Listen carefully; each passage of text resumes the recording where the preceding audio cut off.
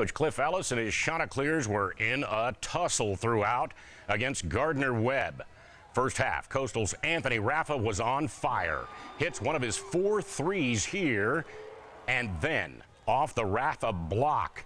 The lay-in up ahead. He had 16 points in the first half and ended up with a game-high 22.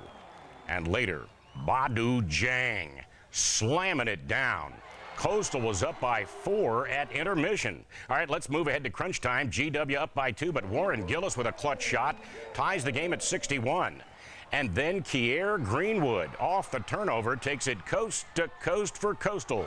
Shant's up by two, but it was all Gardner Webb in the final minutes. Tyler Strange, the fans were taunting him, calling him the Hobbit because of his size, but Hobbit makes him pay off the backdoor bucket. And then Strange with the assist to Tayshawn Newsom for the throwdown. Gardner Webb scored the final nine points of the game to beat CCU 70 to 63 the final.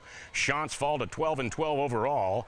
7 and 6 in the Big South. Here's what Coach Ellis had to say following the loss. In the end, they made just a few more plays, and you know it was right. It, got down to the last couple of minutes, and bang! It just all of a sudden, you know, just that things just didn't go the way we needed it to go. I mean, we were right there. We were right there. As a matter of fact, we had a one-point lead inside the four-minute mark, as I recall. Uh, but you know, they just made some plays down the stretch. Earlier in the day at the HTC Center, Coach Mark Cost and his CCU women took on Gardner Webb, took them into overtime, tied at 67. Shants get it to Shatia Cole.